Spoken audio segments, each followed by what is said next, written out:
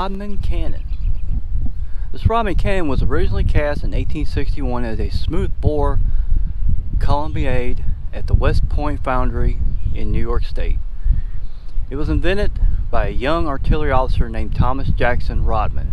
It was originally designed to serve as part of a shore battery at Fort McHenry in Baltimore, Maryland, until 1885 when it was returned to WPF and sleeved with a rifle barrel insert.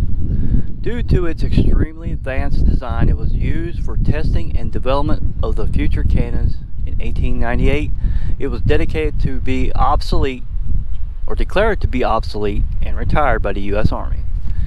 In 1906, members of the Huff Post of the Great Army of the Republic, GAR, installed this cannon here in Soldier Circle of the Greendale Cemetery as a tribute to their fallen comrades. At that point, citizens and school children of Lawrenceburg raised over $660 to bring the cannon from Fort McHenry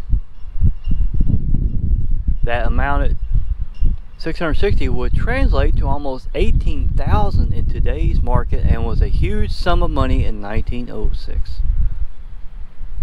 On Veterans Day 2011, this Rodman Cannon was restored and rededicated to all the veterans who who's alive, who lie buried in the sacred ground beneath it. The entire project was conceived and paid for by the citizens of Dearborn County and members of the David McAllister Post 239 of the American Legion, Lawrenceburg, Indiana. That's a cool history about this cannon. Very cool history here in the cemetery. Erected May 30th, 1906. 19, yeah, it's 1906. That's what's that on there. A lot of veterans buried here from previous wars, civil, all the way up to probably recent. Continue down this way. Eternal Flame.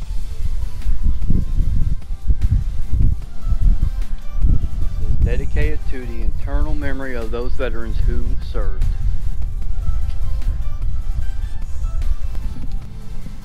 These guns are cool.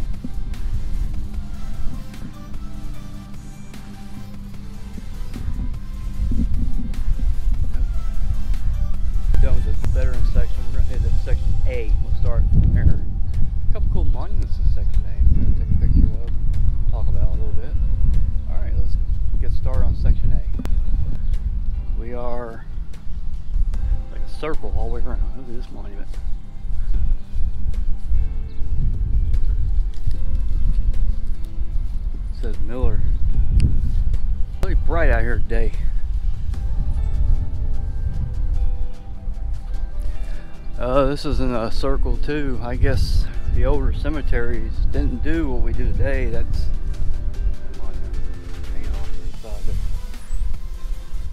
monument the cemeteries must have went in a semi all the way around in a circle.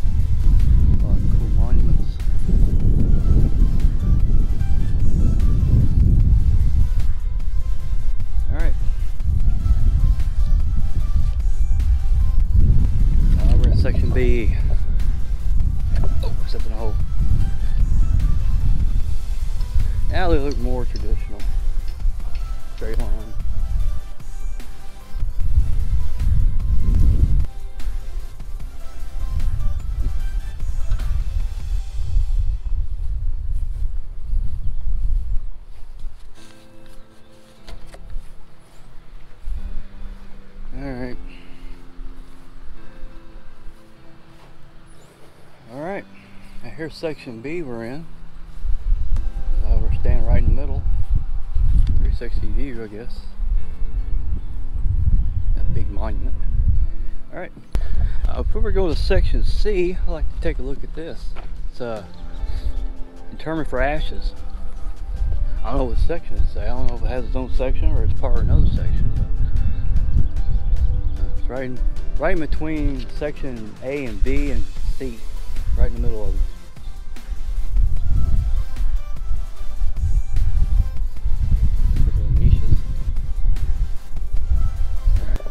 Alright, here we are, section C. Kind of look around. Uh, look at that monument. Dickinson.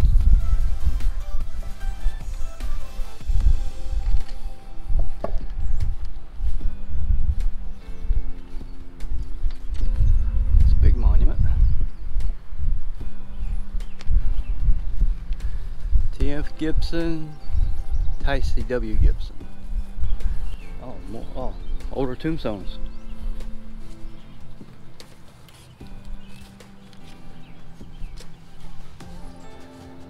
Hmm. Unique looking. A little bit thicker than the usual ones we see. Born in 1751. This one was Kentucky was a territory at the time. 1773. About 200 years before I was born. Oh, this is the Greendale Cemetery Perpetual Care Memorial. It says, show me the manner in which a nation or community cares for its dead, and I will measure with mathematical exactness the tender mercy of its people, their respect for laws of the land, and their loyalty to high ideals. We're in section L. Look around a little bit.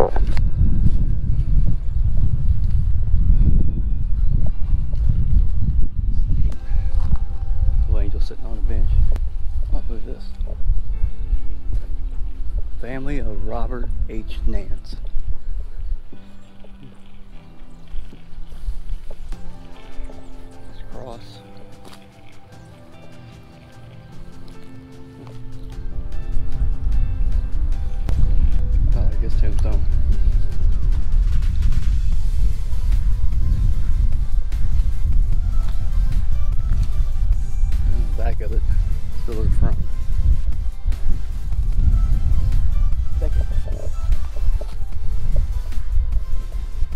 1980. Or is that Air Force? No one over there. Some kind of Legion, I think. I like it. Alright. An angel. More of those graves. Yeah, maybe that's an option, I don't know. Either they're not very, very deep, or that's just the top of it. Alright, welcome to section CS. It's a little strip all the way down here. There's some older tombstones here. Right in the sun. Row 3.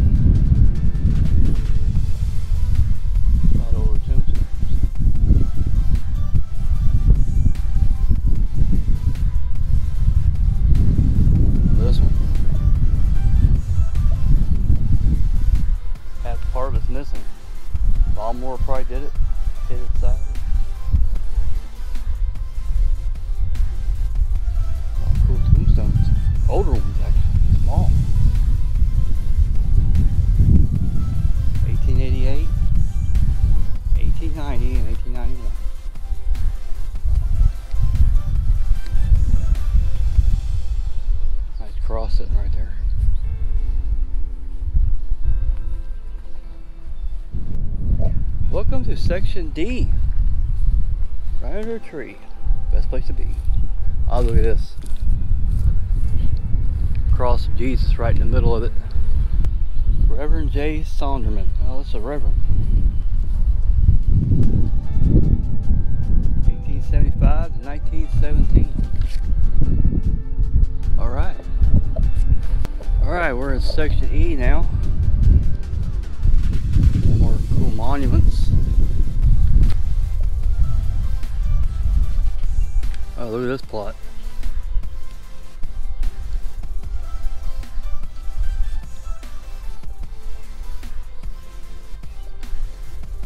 Joseph F. Ziegler, 1936.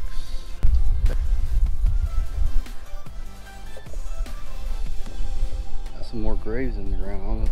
Maybe they're, yeah, they're uh, tombstones embedded in the ground. Sylvana Victor, 1888 to 1887. Oh, they're infants. Well, she it was an infant. This is a small toddler. Sad. Here are Anna and Victor. I guess their parents. Both died same year. She passed away, or he passed away in January 1925. She passed away May 1st, 1925. Oh, not too far apart from each other. All right, we are in section F. Another circle like not many graves. That big section with hardly anything in unless they're unmarked. Or unmarked.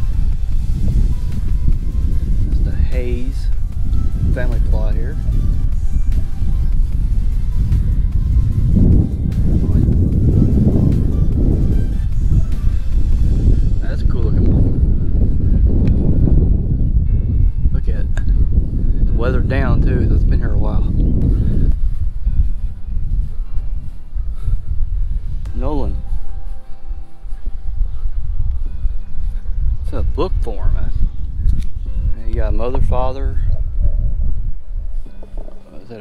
And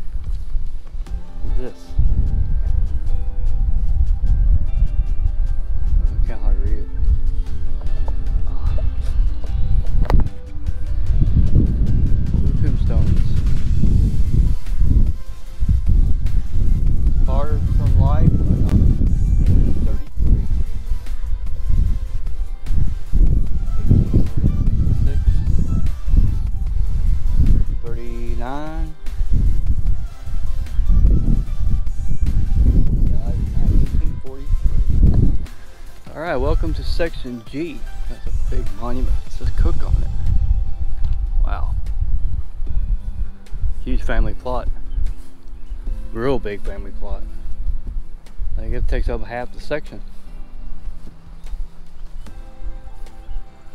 A lot of reeds. 1950, really, if you think about it, it's not that far off. I mean, yeah, last century, but still. A lot of monuments out here. There's section P, uh, CS over there.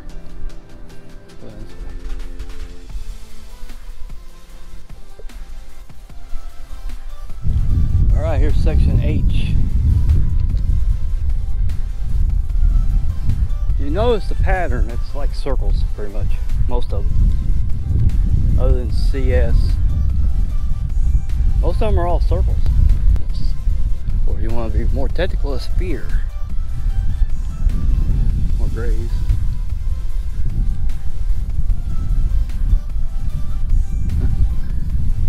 Edna Catherine, 1949. Alright, welcome to section I. And yeah, look at this big monument. Daniel. Now that's a monument. If I ever seen one. That'll make you stand out. Yeah. Alright, welcome to section J.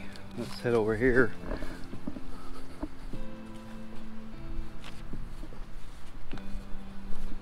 A lot of trees in this cemetery. Probably makes it a different cemetery, all these trees. Make it more appealing to remember your loved ones. I know that's coming in. I think it's a family plot. Or probably just a bunch of them gathered together. And there goes a squirrel right the tree.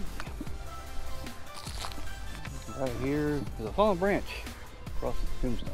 Okay. Alright, welcome to section K and the wind's starting to pick up.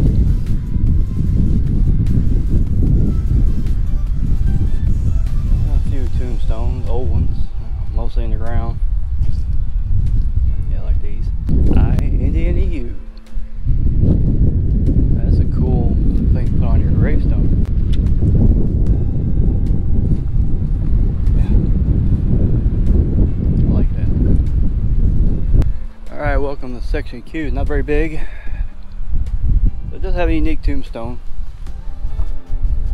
HAA, a hag, I guess. That is a real interesting tombstone.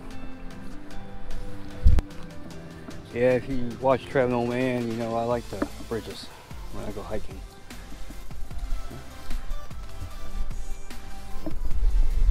Not bad. Alright, alright, this is the PS section. Let's skip around a little bit. Pretty long. I'm gonna go all the way. I'm guessing it stretches both sides of the road.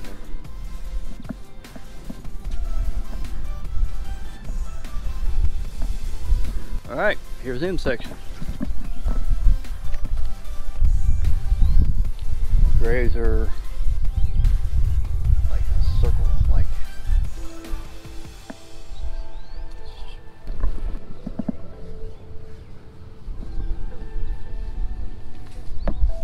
this one right here.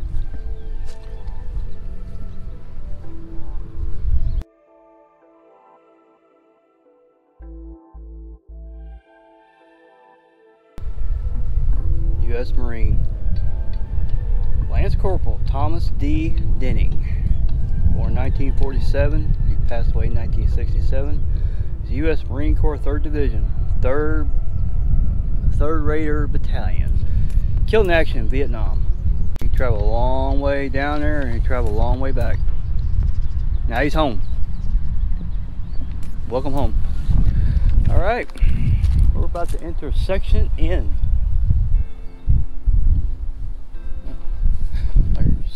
there. The mark of this channel is the tombstones like this. Unusual. That one says Taylor on it. They're all Taylor. Well, that's those three Taylor. That's bollocks. That is a neat looking tombstone, both of them.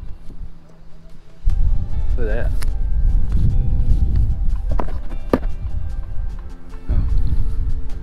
Hey, somebody my name, Troy Yvonne. World War II vet. Born 1923, passed away 1997. I was in the military myself at that point. Out in California. There's another one. Jack C. Grove. Corporal U.S. Army, Korea. 1930, 1992. Another vet. Here's another one. John Lee Swell Jr. PFC U.S. Army World War II. 1992. Passed away. Born 1927. Oh, look at this one. JoJo. I like the dogs and Wolverine. Seems like years that you've been away, but it's only been months and a couple of days. It's weird not seeing your face around, but we feel you among us shining down. We'll carry you in our hearts throughout the years, though it may bring pain and lots of tears. I went to the visitation and the funeral. On seeing you there, I wouldn't believe it was true. We all just stared with tears in our eyes. It was all just too much, a total surprise. And I'm saying this now, and two ends were one. It's true when they say the good die young. How old was he? Jason Michael Hall, 1997. Born 1981. Well, he was young, 15, 16 years old? Section O, look at this. Trisha. Now that's cool. Like. Look at Donna Sue Rogers. Rock gravestone. Uh, I think that's kind of neat. I like some of these tombstones where they got a gravestone and you just put plaque on it. I mean, I don't know. It makes you think, right? PFC Army passed away 2006. There's another one, Charles Simmons, Corporal U.S. Army, 1997.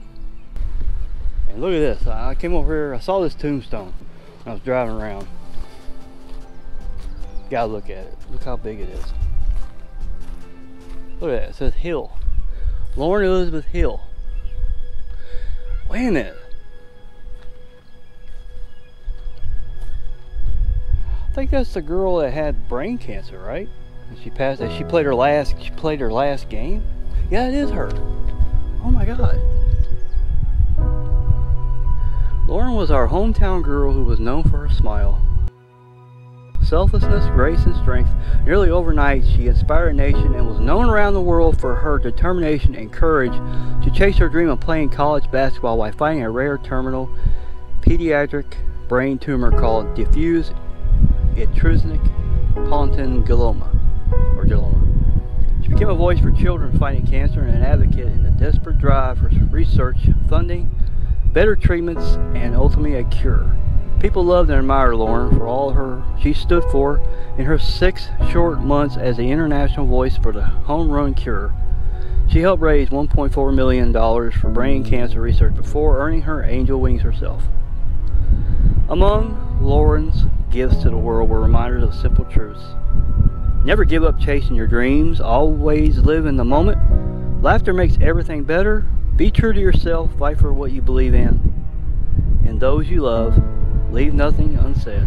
Trust in God's plan that each of us have been placed on earth for a greater purpose than ourselves.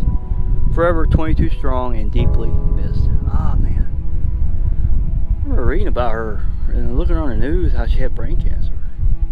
Buried here in Greendale. Wow. You never know, right? I like that tombstone, I like the angel with holding Hill 22 I tell you. Cemeteries hold a whole lot of things. I mean, I read about her on the news. I know I didn't know she was buried here. I mean, I just came here because I saw how, how nice it looked. I wanted to do a video on it. And found her tombstone here. And I think that's a beautiful tombstone. Karen Joan. Mary Jo's still around, but that's a cool looking tombstone. Like that Celtic cross blocks. Look at that, bricks laid out over a tomb, a grave. that, that is nice. I mean, you gotta admit, that is nice. Harold and Caroline. Well, Harold's not, he's still here, but his wife's buried here. That's cool looking. Alright, this is the last section of the cemetery. It doesn't have a section name, but I'm gonna call it the original section of the cemetery. But this is the oldest section. Tell, looking at all, all these tombstones, man. This is the reason why I do this channel. These were the original people that came here and settled in this region. Who knows, some of them probably fought in the American Revolution. I mean, yeah, we saw old ones on the other side, but man, these I think these are older. that 1846? Uh, not too much older. What about this? Uh,